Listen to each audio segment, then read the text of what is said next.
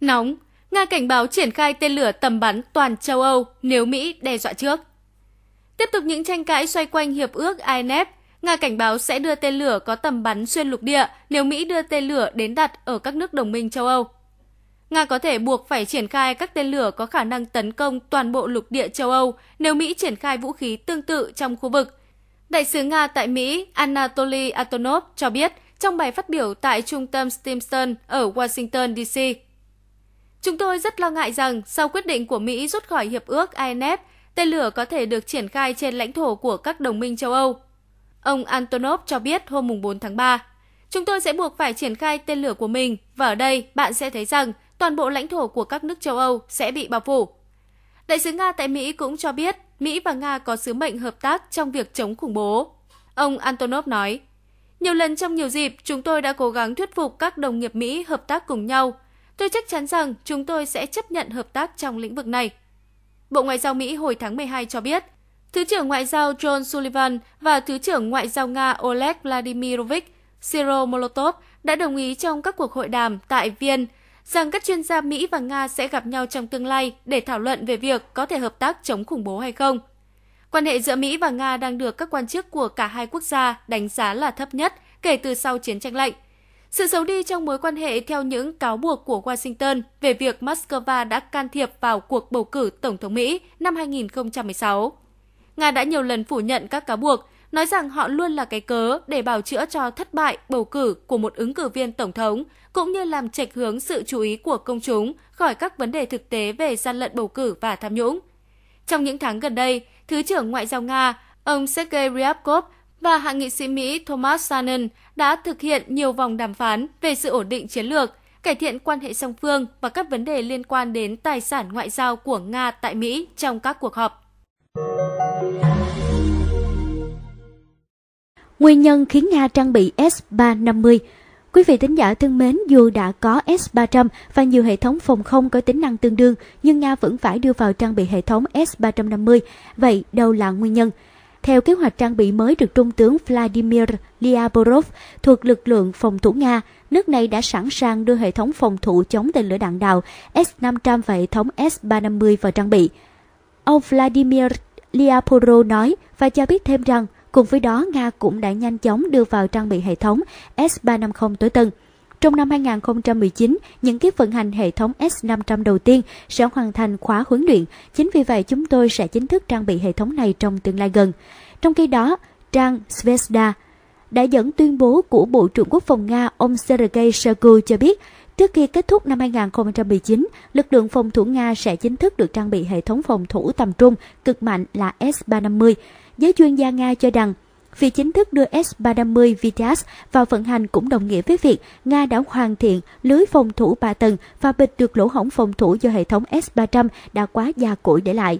Cụ thể tầng cao nhất và có tầm bắn xa nhất là S-400 và S-500, tầm trung xa có S-350 và cả Buk, còn tầm ngắn thấp thì có Panzer S và một số hệ thống khác để thay thế nhiệm vụ của S-300, S-350 được đánh giá là hệ thống phòng không cơ động đa năng, được thiết kế để tiêu diệt tất cả các mục tiêu đường không, từ máy bay cánh cố định trực thăng, UAV, tên lửa hành trình, tên lửa đạn đạo và các loại vũ khí không đối đất có hoặc là không có điều khiển. Cụ thể, S-350 có khả năng tác chiến mạnh gấp 3 lần so với S-300, với 12 kênh điều khiển tên lửa.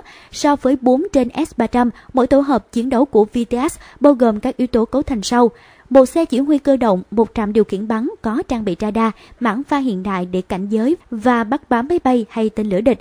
Radar có khả năng theo dõi đồng loạt 40 mục tiêu và dẫn bắn cho tên lửa tiêu diệt đồng thời 8 mục tiêu. Ba xe phóng tên lửa, mỗi xe có khả năng mang 12 tên lửa phóng thẳng đứng. Các tên lửa được đặt thành cụm gồm có hai lớp, mỗi lớp có 6 ống phóng thẳng đứng, với 12 quả tên lửa dẫn đường bằng radar chủ động, 9M96 các xe tiếp đạn. Giới chức lãnh đạo công ty Anbas Ante khẳng định S-350 đã vượt qua tính năng của một hệ thống phòng không tầm trung khi nó có thể sử dụng một loại tên lửa có tầm bắn từ 5 km đến 400 km ở độ cao từ 5 m đến cận vũ trụ. Hiện mới chỉ có S-400 có tính năng cao hơn S-350. Su-30 MKI Ấn Độ đài 7, không quân Pakistan dính cuối lừa ngoạn mục. Thưa quý vị, vụ đánh lừa đã khiến cho không quân Pakistan sập bẫy và trại huấn luyện khủng bố JEM đã bị máy bay chiến đấu Ấn Độ tập kích vào lúc nửa đêm ngày 26 tháng 2 mà không pháp phải sự kháng cự nào. Theo The Economist Times, ngày 26 tháng 2, trong khi tiến hành vụ tấn công tại trại huấn luyện ở Balakot của nhóm khủng bố Jaish-e-Mohammed, nằm trên địa phận khu vực Kashmir, do phía Pakistan kiểm soát, không quân Ấn Độ IAF đã thực hiện một phi vụ đánh lừa ngoạn mục. Cụ thể, IAF đã điều động một phi đội máy bay chiến đấu giả vờ tiến vào trụ sở đầu não của GEM ở Bahawalpur thuộc tỉnh Punjab nhằm thu hút lực lượng không quân Pakistan đang tuần tra trên không tránh xa khu vực mà phía Ấn Độ dự tính sẽ tập kích. Kết quả là không quân Pakistan đã sập bẫy. Trại huấn luyện khủng bố Bakalot ở tỉnh Khyber Pakhtunkhwa đã bị các máy bay chiến đấu của Ấn Độ tập kích vào lúc nửa đêm ngày 26 tháng 2 mà không vấp phải sự kháng cự nào.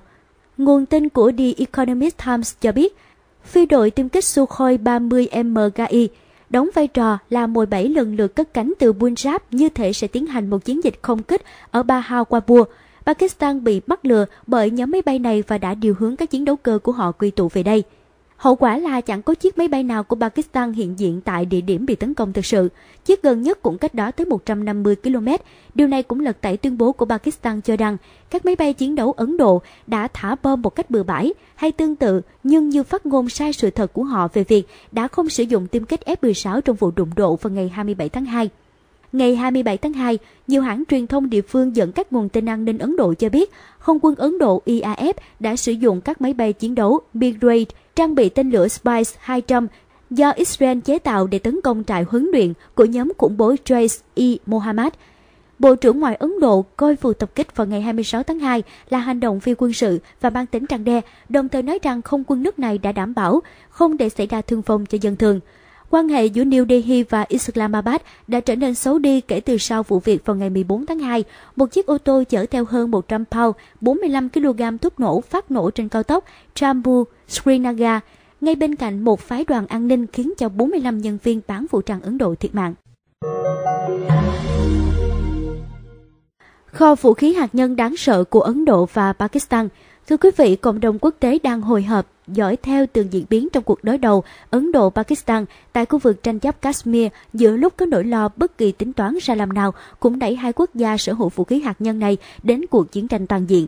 Cử chỉ hòa bình của Pakistan hôm ngày 28 tháng 2 thả phi công người Ấn Độ bị bắt giữ sau cuộc đụng độ trên không giữa chiến đấu cơ hai nước chưa đủ giúp tình hình hạ nhiệt.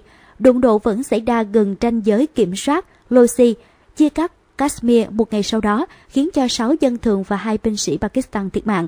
Mối bận tâm hàng đầu hiện nay tập trung vào kho vũ khí hạt nhân của hai quốc gia Nam Á này.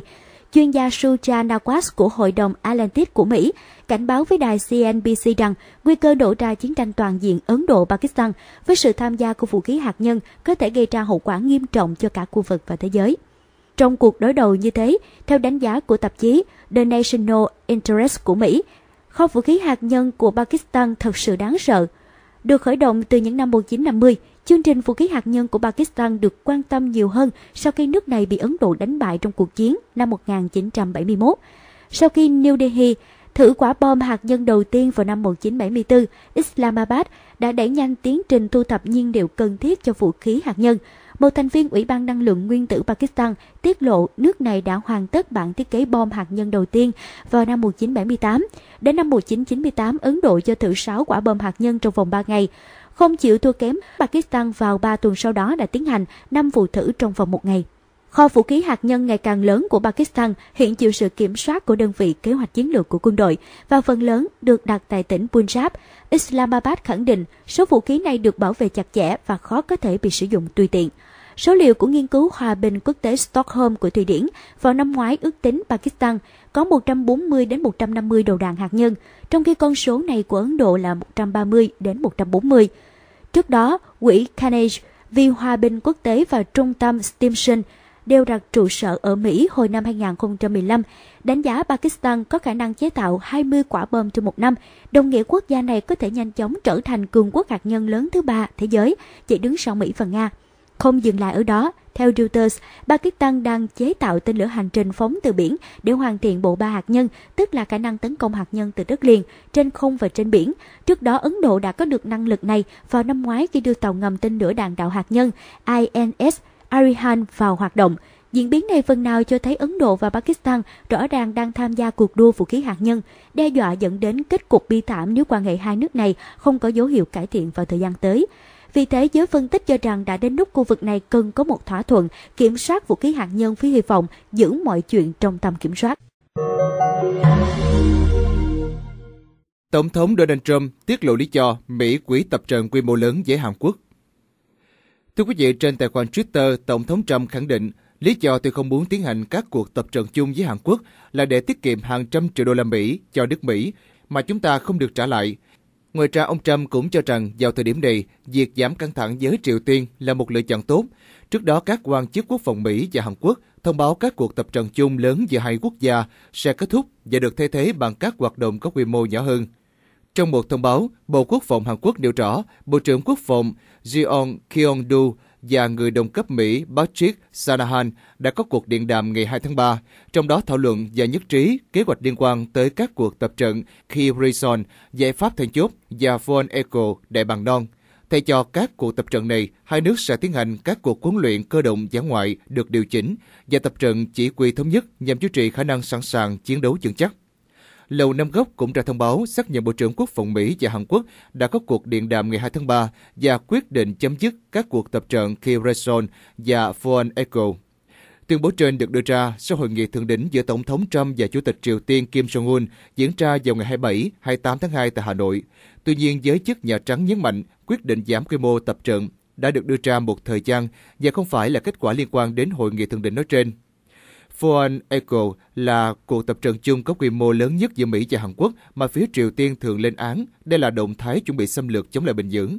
Năm ngoái tham gia cuộc tập trận thường niên này có 200.000 binh sĩ Hàn Quốc và có khoảng 30.000 lính Mỹ. Trong khi đó, Kill Rayson là cuộc tập trận chỉ huy giả định trên máy tính, thường được bắt đầu trong tháng 3 và kéo dài trong khoảng 10 ngày. Tổng thống Moon triệu tập Hội đồng An ninh bàn về thượng đỉnh tại Hà Nội. Yonhap dẫn lời người phát ngôn của Tổng thống Hàn Quốc cho biết lệnh triệu tập Hội đồng An ninh đã được đưa ra vào ngày 3 tháng 3 và các quan chức cấp cao sẽ nhóm họp vào ngày 4 tháng 3 tại Nhà Xanh, bàn về kết quả hội nghị thượng đỉnh Mỹ-Triều vừa kết thúc tại Hà Nội. Quan trọng là họ, tức Tổng thống Trump và Chủ tịch Kim, đã thảo luận về vấn đề thiết lập văn phòng liên lạc, một bước tiến lớn hướng tới bình thường hóa quan hệ song phương – Tôi đánh giá cao việc Tổng thống Trump cam kết tiếp tục các cuộc thảo luận và có cái nhìn lạc quan tới Bình dưỡng. Hơn hết, Tổng thống Moon khẳng định chính phủ của ông sẽ tiếp tục liên lạc và phối hợp chặt chẽ với Mỹ cùng Triều Tiên nhằm giúp các cuộc thảo luận đạt được một thỏa thuận toàn diện bằng bất kỳ biện pháp nào. Được biết, các phương tiện truyền thông Hàn Quốc đang đề cập tới khả năng Bình dưỡng và Seoul sẽ tổ chức một hội nghị thượng đỉnh tiếp theo giữa hai bên trong tương lai gần. Trước đó, Tổng thống Moon Jae-in hôm 1 tháng 3 tuyên bố sẽ tham vấn với Mỹ về cách thức khôi phục các dự án chung với Triều Tiên, trong đó có việc phát triển du lịch ở núi Kim Cương và khu công nghiệp chung Kaesong. Hé lộ lý do tàu sân bay đầu tiên của Mỹ bị đánh chìm. Tàu sân bay đầu tiên của Hải quân Mỹ, chiếc USS Langley, được hạ thủy vào năm 1912 với tư cách là tàu chở than của Hải quân – tên ban đầu là Jupiter. Sau chiến tranh thế giới thứ nhất, tàu Jupiter được chuyển đổi thành hàng không mẫu hạm đầu tiên của Hải quân Mỹ và được đặt lại tên là Langley, theo tên người đi tiên phong trong lĩnh vực hàng không của Mỹ là Samuel Pierpont Langley. Langley cũng là con tàu đầu tiên của Hải quân Mỹ chạy bằng điện. Nó có thể di chuyển với tốc độ 28 km/h. Sau khi được chuyển đổi, tàu sân bay USS Langley có độ giãn nước tối đa chỉ còn 13.000 tấn so với 19.300 tấn trước đây của tàu chở than Jupiter. Độ dài của tàu được nâng lên 165 mét, lần rộng 19,9 mét và có độ mớm nước 5,8 mét. Sử dụng 3 nồi hơi để quay động cơ điện do GE thiết kế. Tàu có dẫn động hai trục và có khả năng cung cấp sức đẩy tối đa 6.500 mã lực. Ngày 17 tháng 10 năm 1922, Đại úy Virgin C. Griffin điều khiển chiếc máy bay đầu tiên VE-7SF cất cánh từ bong tàu Langley. Cho dù đây không phải là lần đầu tiên một máy bay cất cánh từ một con tàu, cũng như Langley không phải con tàu đầu tiên được trang bị một sàn cất hạ cánh, nhưng lần phóng này có tầm quan trọng đáng ghi nhớ trong lịch sử Hải quân Mỹ. Nó đánh dấu sự bắt đầu của thời đại tàu sân bay. Sau năm 1937, 40% phần bong dành cho máy bay của chiếc Langley được chuyển đổi thành khoang chứa thủy phi cơ, căn cứ di động cho đội máy bay ném bom tuần tra.